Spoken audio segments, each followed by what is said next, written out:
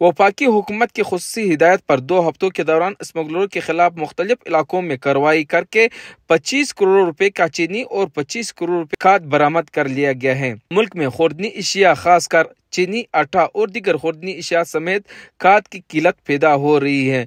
इन इशिया की स्मगलिंग रोकने के लिए कस्टम्स और बॉर्डर पर मुतल दूसरे कानून नाफिज करने वाले इदारों के साथ मिलकर ऑपरेशन शुरू कर दिया गया है। कलेक्टर कस्टम सिमोलक ने प्रेस कॉन्फ्रेंस करते हुए कहा कि चेयरमैन बी आर ने चीफ कलेक्टर बलुस्तान और कलेक्टरों समेत स्मगलिंग रोकने और इसकी निगरानी की हिदायत की है। हर किस्म स्मगलिंग रोकने के लिए ज़ीरो टॉलरेंस की पॉलिसी के तहत किसी किस्म की रायत मोबरा पॉलिसी पर ज़ोर दिया गया है। चीफ कलेक्टर कस्टम, बलूचिस्तान जनाब मोहम्मद सलीम ने मुझे कलेक्टर कस्टम कोयटा को हिदायत की की सख्त निगरानी की जाए और स्मगलिंग के लिए ज़ीरो टॉलरेंस की पॉलिसी अपनाई जाए।